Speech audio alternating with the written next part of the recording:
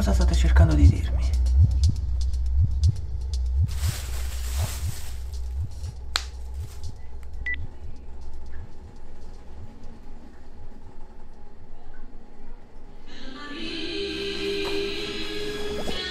Grazie amici miei, non mi dimenticherò mai.